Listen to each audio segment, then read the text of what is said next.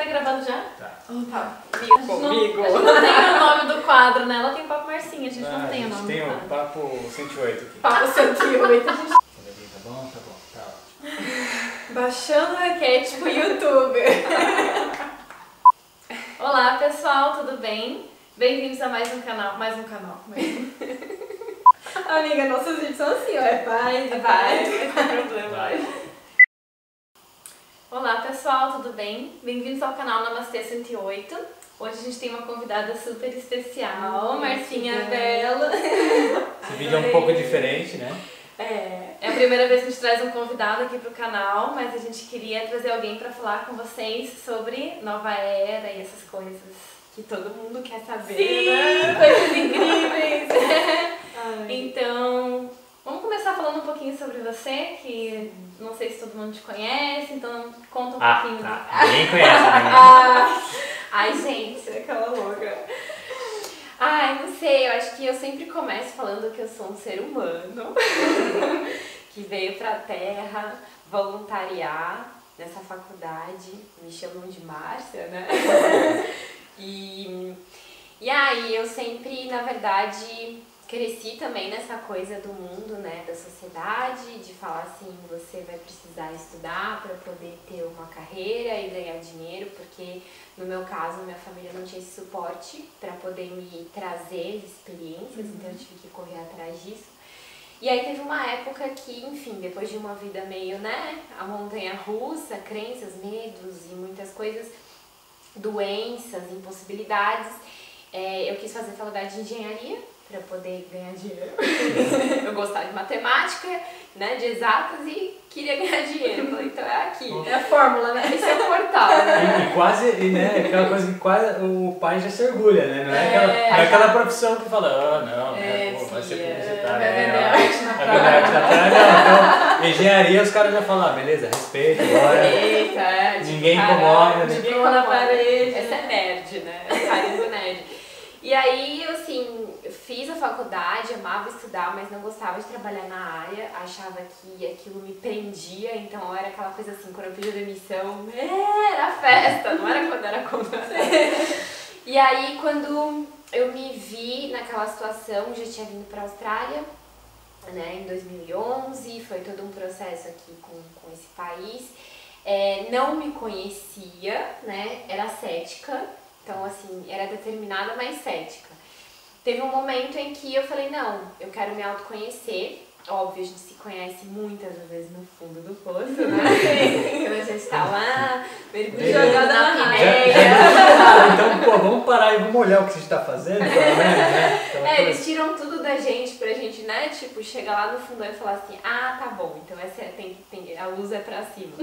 e aí foi quando começou o processo, eu criei a Emana Project, que é a empresa que eu tenho hoje, né? De coaching e meditação com várias vertentes, usando as mídias sociais, os workshops e também unindo a questão de viajar ao mundo, com esse propósito Adoramos, né? essa É, não isso é aí. digital. E foi todo um processo, não foi fácil, é um desafio a cada dia, você tem uma empresa que você tem, hoje eu tenho uma equipe, tem todo, né, todo um processo criado, né, um modelo de negócio, mas que o ponto chave é autoconhecimento, mas de uma forma muito verdadeira, muito profunda, muito de trazer é, o mestre que há em você. Então hoje, hoje eu, eu- o meu desejo é esse, inspirar as pessoas de, de alguma forma. E eu tô aqui com vocês É, também, no canal, né? Que vocês Uhum. também inspiram, me inspiraram muito quando eu cheguei aqui e agora é uma tá troca. bom. Eu acho que uh, essa, essa troca sempre é bacana, assim, a gente... é, hum, às vezes a gente fica muito distante de pessoas, assim, né? Eu acho que essa... Quando a gente começa a conversar, a gente vê que a gente tem muito em comum, assim, né? Com, com- Aproxima, com, com né? várias pessoas, né? Assim, e, e essa é uma das coisas que, dentro da viagem, que, que foi onde a gente começou, né? Com o projeto e tudo mais, eu acho que é... É o que, a gente mais aprende, o que a gente mais gosta de fazer. Não, a assim. parte mais legal de viajar é Sim. conhecer pessoas, É. né? Sentar e conversar com a pessoa por horas a fio, quando você vê, foi tipo o dia e você tá ali só conversando, trocando uma ideia. Eu acho Só que- não, né? Porque é É, bastante, sim, né? mas uma é. experiência. Que legal. Mas eu acho que vamos falar um pouco mais sobre a sua, as, as suas, suas habilidades únicas, né? é, e eu acho que a Karen pode começar com, é, perguntando algumas... Bom, o que eu mais quero te perguntar, já que estamos falando de viagem, né? Sobre os chakras do planeta. Uhum. Porque vocês sabem, eu trabalho com healing, já fiz alguns vídeos aqui falando sobre chakras. E quando eu descobri que o planeta também tem seus chakras, foi tipo, uau, arrepio, né? gente, que isso, conta mais. Então eu queria que você falasse um pouquinho mais sobre isso. Isso é muito legal, Cá, porque assim, é...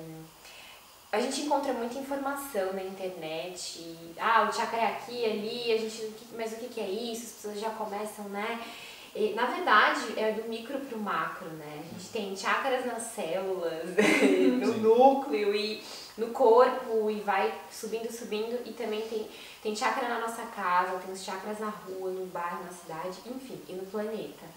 E as pessoas me perguntam muito, mas como que você sabe onde são? Mas, e foi tudo uma compilação de informação, não uhum. foi assim, eu achei num livro, uhum. todo mundo falou que é. Foi viajando, conhecendo mestres, lendo livros, indo em palestras, realmente é, experienciando o lugar que eu consegui é, compreender onde eram os chakras do planeta, uhum.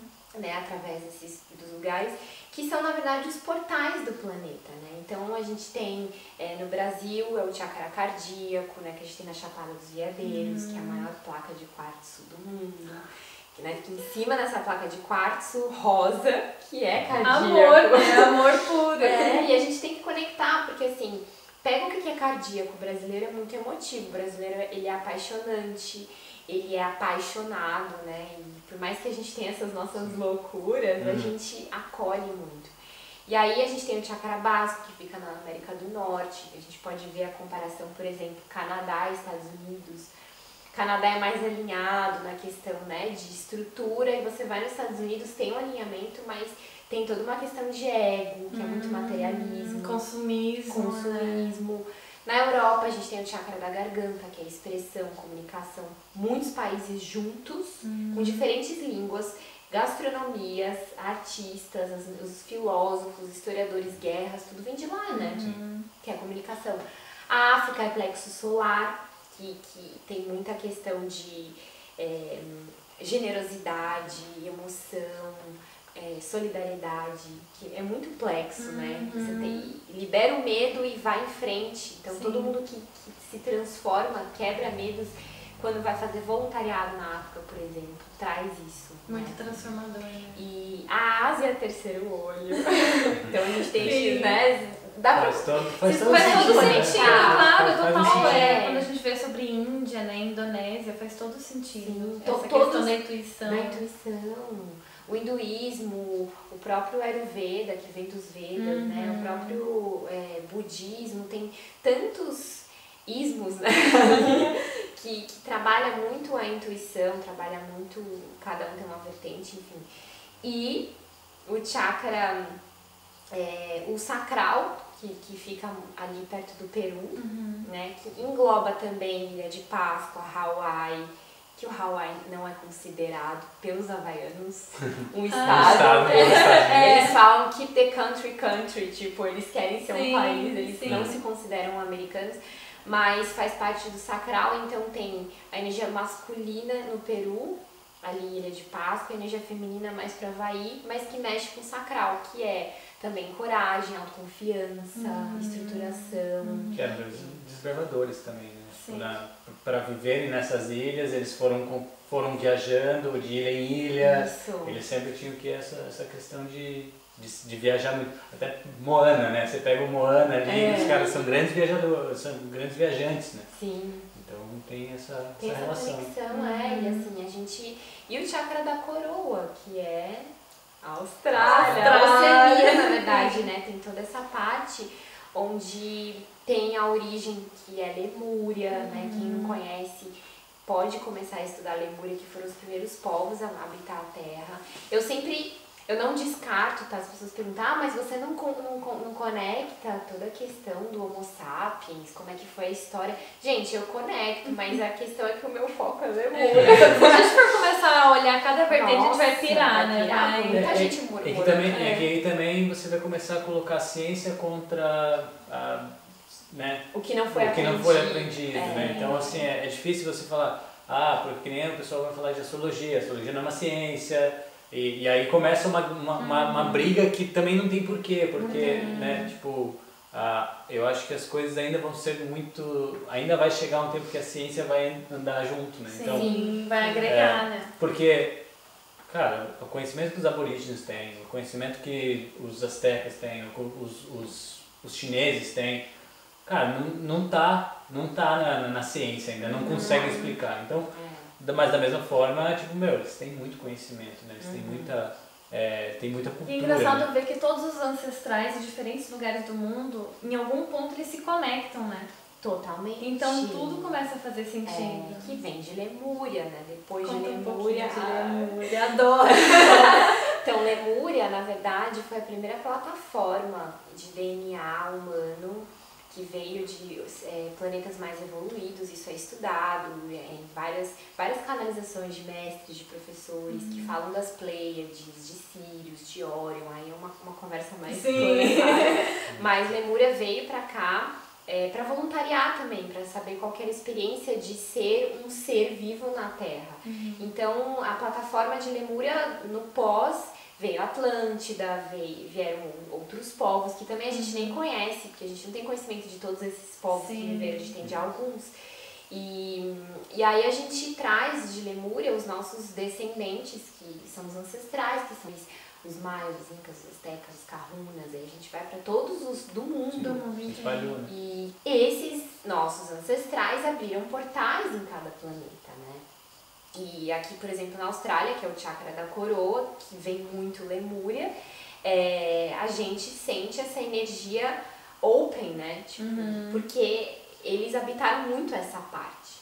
Principalmente a Austrália, Nova Zelândia, Havaí e a costa da Califórnia faziam uma tríade, né? Então hoje o que a gente vê que é o oceano, na verdade, era uma cidade. Então é, a gente vai começando a estudar essa parte, a gente vê que faz muito sentido. Então a Austrália, ela tem essa essa coisa de verdade. Porque coroa, o que, que é? Desse ponto da nossa cabeça pra cima já é conexão com o universo. Sim. Então aqui as coisas acontecem muito rápido, é, é muita mudança, é muita transformação, é muita verdade, nada fica no véu, né? Tudo cai muito rápido. Por quê? Porque é dessa conexão do físico já pro, pro divino que a gente não vê, né? Sim. Então, e tudo isso tem uma, uma história também dos nossos ancestrais.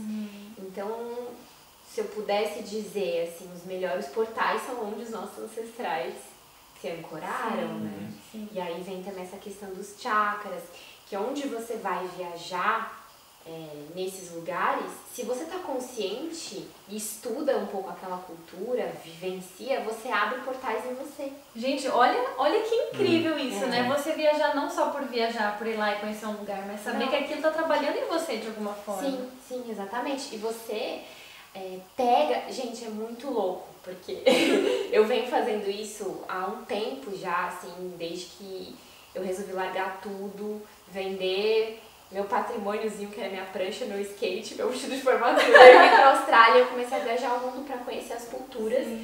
E assim, é impressionante. Todo lugar que eu vou, eu conheço a cultura, eu pego uma coisa e eu e aplico na minha vida, aplico na empresa, Sim. aplico em tudo. Relacionamento, saúde, tudo. Porque eles têm informação. Sim. Tá guardada. Sim, Isso tá ali, é, né? Isso é abrir portal. Isso não, assim, a gente tá falando uma coisa mais holística, uma coisa assim, mas se você pôr isso no dia a dia do, do, do- de uma viagem normal, assim, a- aplica a cultura deles, aplica o que, ele, o que eles têm de bom, assim, né? A gente olhar para para cada cultura e ver o que eles têm de bom. Tá aberto, né? É. Acho que tá aberto Eu- a aprender a cultura daquele Quando a, lugar. quando a né? gente foi para quando a gente foi pro Peru, a gente foi pra, pra parte de Bolívia e tal, cara, é um povo incrível, assim, cara, que a gente, eu tinha uma ideia muito errada de- do, do povo. Quando a gente veio pra cá, tinha uma outra ideia sobre a Austrália. Então, assim, é cara, viajar é, é uma coisa que só abre, assim, né? E, e, claro, en- engatando com essa coisa do, do- dos povos ancestrais, que na verdade é a história do, do, país em si, né? Por mais que a gente esteja falando de 10, 20 mil anos, sei lá, é, isso vem aos poucos agregando, né? Tipo, Então, Eu, eu acho incrível essa coisa de conectar as viagens e, e, e poder tá, tá vivendo isso, né? Vivendo Não, e a gente está falando até assim de países, mas mesmo você vai viajar para a cidade do lado da tua, sabe? Chegar nessa cidade e sentir o que, que essa cidade tem de diferente, né? Não precisa às vezes atravessar o mundo vir para Austrália, Não, né? Sim. É aquilo que você falou, tem os chakras da, da rua, do bairro, da cidade. E o mais legal é que assim, é, quando eu lembro que uma vez teve, eu não lembro o nome desse moço, tá? Mas ele era um moço famoso que viajava, mas eu lembro que eu tava assistindo TV e ele, ele falava assim: é, se você perceber o quanto você muda quando você abre a porta da sua casa e sai todo dia e volta, você tá se autoconhecendo. Olha só. Então, pra mim, viajar é eu estar tá em casa, na minha cidade às vezes, né? Porque na verdade hoje minha casa é o mundo. Mas assim, aonde eu tô, eu abro a porta e eu vejo toda a minha jornada do dia. Isso é uma viagem. Uhum. As pessoas que eu estou encontrando, a comida que eu escolhi no dia, uhum. a água, o sol, vai ser diferente. Quando você volta, você volta de uma viagem. Uhum. Então as pessoas acham que elas precisam gastar uma grana ou, ou ah, eu não estou vivendo. Ou se, se, não for a, se não for aquela grande viagem, não é um, Não, não é. é. é. E na verdade a grande viagem é você acordar de manhã e você ir dormir. Você criou uma história, você criou uma viagem. E assim, eu, é, é uma coisa que eu não sabia também. Eu não encaixava. Uhum. Mas eu tive que viver aquilo de não poder fazer nada, de tipo assim, ter 100 reais na conta por meses e, e escolher entre comer por mês inteiro com aquilo ou, sei lá, viver. Então eu lembro que eu ficava desenhando vou pro Peru, preciso de 3 mil reais, eu tinha 100 reais, eu falava, nossa, e eu ficava, quando que a coisa, isso vai vir? E aí é um processo de você começar a amar, e eu lembro até hoje que a minha terapeuta falava assim, começa a amar onde você mora, começa a criar propósito na, quando uhum. você sai de casa, começa a abrir esses portais todo dia na sua vida, porque aí o universo vai te trazer o maior. Sim. Então, quando eu comecei a ver isso, tudo pra mim tem propósito, uhum. né? Então, e claro, quando a gente tá num lugar que a gente conhece a cultura, ela traz pra gente alguma coisa. Uhum. Tem aquela pergunta, fala um lugar aí que vocês viajaram, que vocês amaram. Nossa. Sem tirar, tirando a Austrália e o Peru, que eu ia falar do Peru. Eu ia falar do Peru, mas então. Eu acho que é Nova Zelândia. Nova Zelândia. É. Tá. Se vocês pudessem se perguntar, tipo, uma palavra para cada um, qual qual foi a, o sentimento que fortaleceu em vocês na Nova Zelândia? Beleza. Nossa, foi a primeira coisa que me veio. não, sei nem porquê, mas veio. É, eu, eu não sei, em uma palavra é difícil resumir, assim, porque foi um texto. Um texto. eu acho que foi. A beleza é, é estupidamente belo lá, assim, sabe? Então, é, mas eu acho que foi uma... Eu tô perdido, eu me perdi. Eu vou ficar com a beleza também. a beleza. É que ela é tudo muito lindo, é. né? Mas essa beleza é o portal. Uhum. É o portal que abriu em vocês. E aí, se a gente for desmembrar, o que, que é essa beleza em que, né? Em que? Em que? Porque uhum. tem montanha, tem igual. E é igual, tem aqui, tem no Brasil, tem. Né? mas alguma coisa tocou mais uhum, profundo, né? uhum. né? É, é uma analogia bem interessante. Nossa, é. é. muito legal, né? Começar a se observar dessa maneira. É. E isso é o portal que abre, né? As pessoas, ah, mas como é que eu abro esse portal? a gente acha que vai pegar a chave, abrir, vai sair oh, uma Luzes, Não, é isso, o portal que abriu em vocês lá é, é a beleza. Vocês sabem por quê? Não, não, como? Porque os maores, eles têm uma na cultura maori, assim, eles trabalham muito essa questão do amor próprio, que também vem de Lemúria, né? Uhum. Uma das coisas mais fortes de Lemúria era o self-healing, era o self-love, porque eles acreditavam muito que é, quando a gente encontra o nosso amor próprio, a gente encontra a nossa virgindade, uhum. sabe? Nosso, nossa pureza. Nossa pureza, sim. E lá traz isso. Então a beleza que veio pra vocês é de uma coisa virgem, de uma nossa, coisa total, pura. uma coisa intocável. Intocável. Uhum. É. E aí você vai desmembrando em você sim. aonde isso pode curar. Nossa, isso que é lindo. portal. Que lindo. É. Nunca tinha observado dessa maneira. É. Às vezes a gente fica, né? Ai, como abre o portal, né? É. Onde eu faço curso sobre o portal? É, exato. Posso ligar? Posso comprar? Posso comprar? Tá incluso no pacote, abre o portal? Qual é o portal? Não, qual que é o ritual? É o chá, é junto com, com o sal grosso, daí você vai fazer, né? E aí os cristais, você fala. E nada Tá, vamos, disso, vamos né? abrir outra, outra porta aqui então. Vamos falar sobre realidades paralelas então, já que, Já que estamos falando de portal, já que né? estamos falando de portal e eu sei que você tem uma, ah, algumas teorias assim bem interessantes né, sobre Uhum. realidades paralelas que é, é um fato, é um fato que a ciência está chegando a, a, a, a comprovar, mas eu sei que você tem umas teorias um pouco mais holísticas, um pouco mais, né? Até Nova era, né? Assim. nova era. É, todo mundo quer saber, porque agora é, não é mais. não é- a gente nunca viveu no passado, nunca teve passado e futuro, né? A gente está em realidades paralelas. Tentando explicar assim, mais professora, é, as realidades paralelas, nada, a gente é energia, né? Em diferente, uma forma diferente, mas a gente é energia, como esse tapete, esse sofá, só que cada um tem uma consciência e uma função. Então, o, o sofá tem a função de ser sofá, a gente, o ser humano. Só que a gente é energia. E a energia não acaba, ela sempre se transforma e sempre está se transformando e expandindo, né? E a gente faz parte disso, porque esse universo expande, quem somos nós para Pra não não expandir? Pra não expandir Só a também, gente acha que a gente é. já tá velho, macaco velho, não, já tá novinho ainda.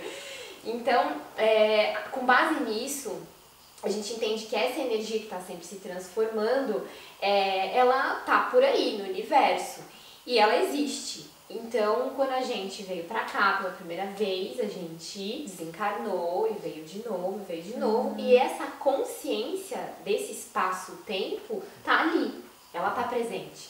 Então, quando a gente acessa o passado ou o futuro, não é que a gente vai, é, como é que é no, no- rodar o Mani- ah, a bob, re- Rebobinar. vai rebobinar, mas vai voltar, e vai, vai acessar lá. Não, na verdade é uma consciência que existe, que está ali com um campo de informação, de energia, de sensação, com toda uma história, um pacotinho que está ali né, no universo, que a gente, como energia, consegue acessar, né? Porque a gente sabe o quê? A gente sabe o caminho. É que nem o WhatsApp. Como é que você vai falar com eles? Tem que ter o número dele? Sim. É tipo isso, a gente tem o númerozinho do pacotinho e acessa. acesso. Então todo mundo consegue. Qual que é a diferença? Quando você se autoconhece, você se conhece por inteiro, o seu corpo físico e energético, e aí você está aberto para acessar isso. Quando a gente está mais fechado, né, quando a gente só fica naquele processo ali que é, é isso aqui, terra, Uhum. mais nada,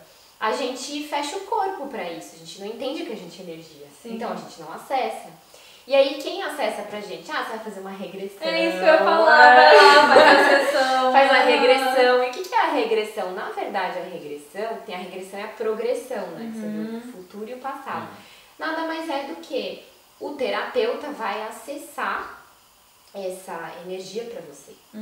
E ele vai captar o que está no seu campo, porque você vem junto com todos esses pacotinhos.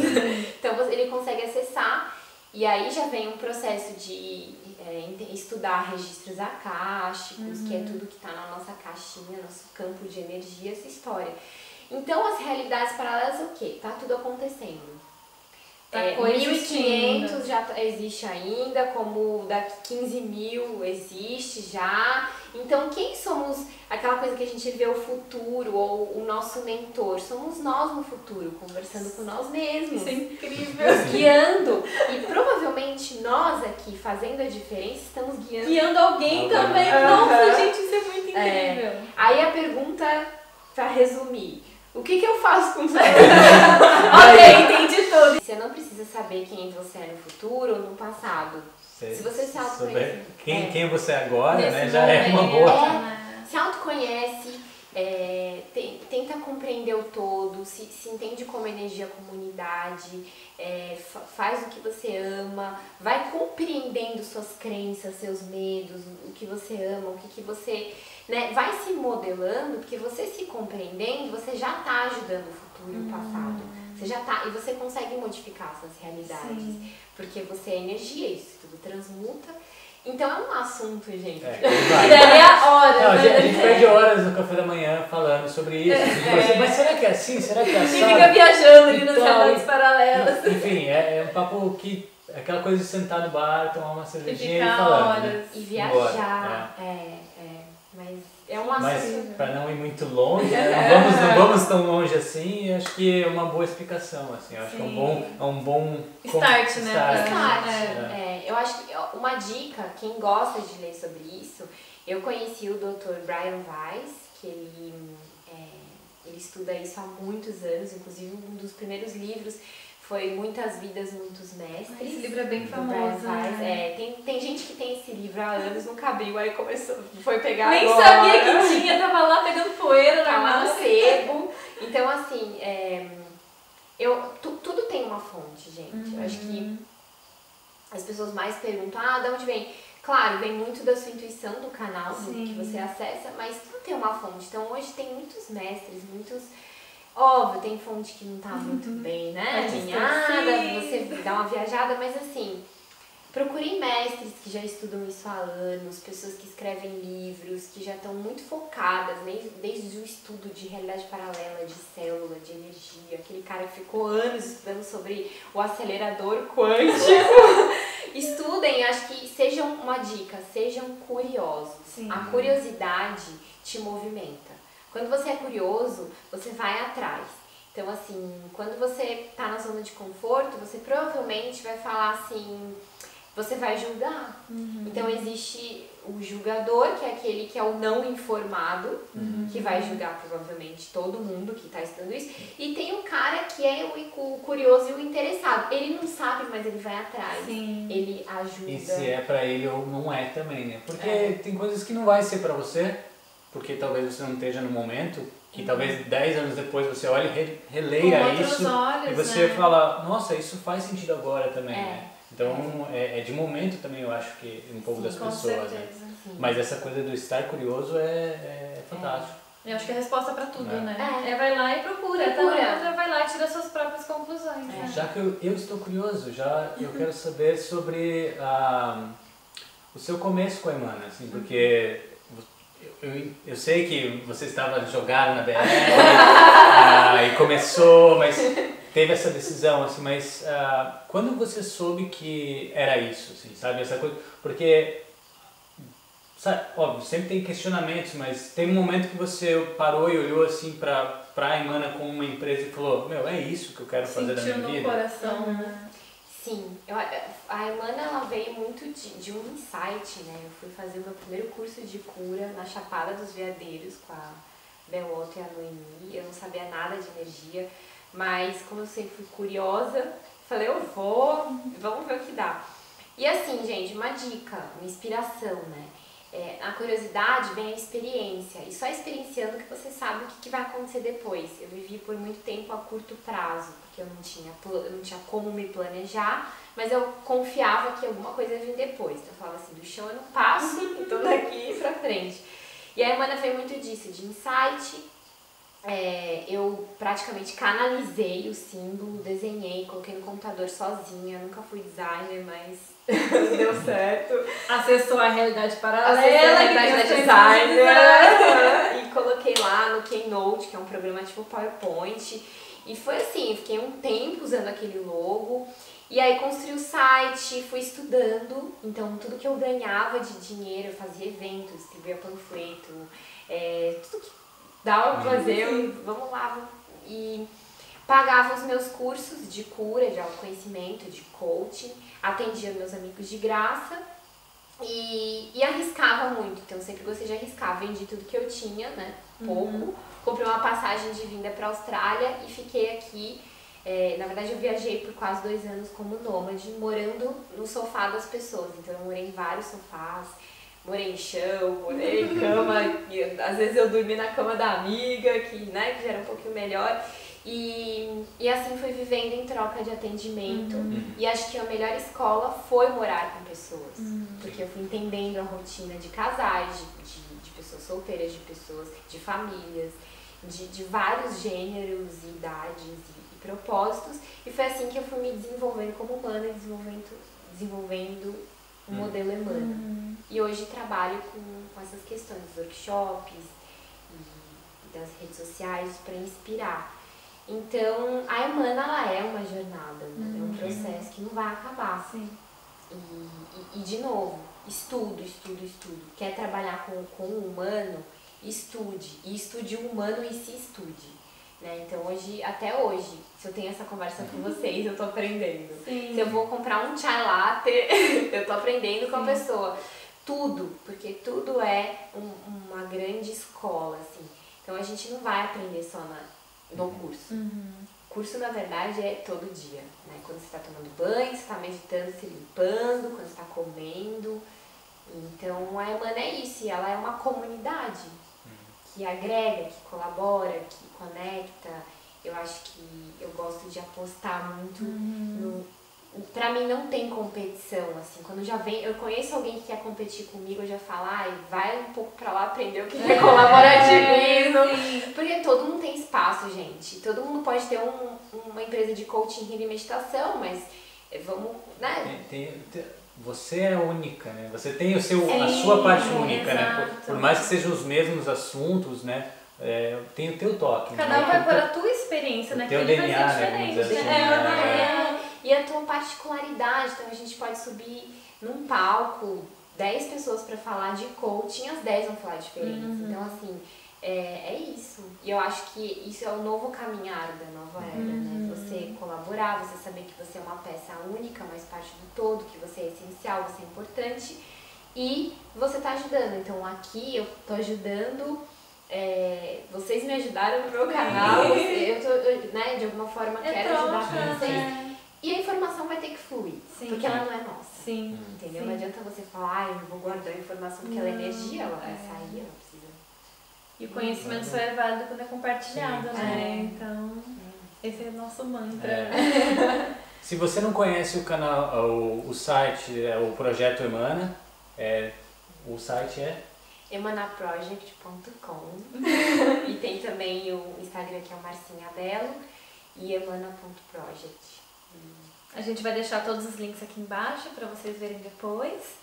E acho que é isso. Obrigada. Foi, foi, bem legal o papo. Assim, é, já não, é, a gente se conhece há pouco tempo, assim, mas é, as duas vezes que a gente sentou para conversar, a gente, o papo foi fluindo, Senti assim, uma, uma conexão, é, de uma né? maneira muito, muito natural, assim. Então, muito obrigado por você Obrigada. compartilhar um pouquinho com a gente. E, e, estreando esse, esse nosso lado ah, entrevistadores, né? Maria, Maria Gabriela. É, Maria Gabriela e o Gentili, né? é, o Jô Soares.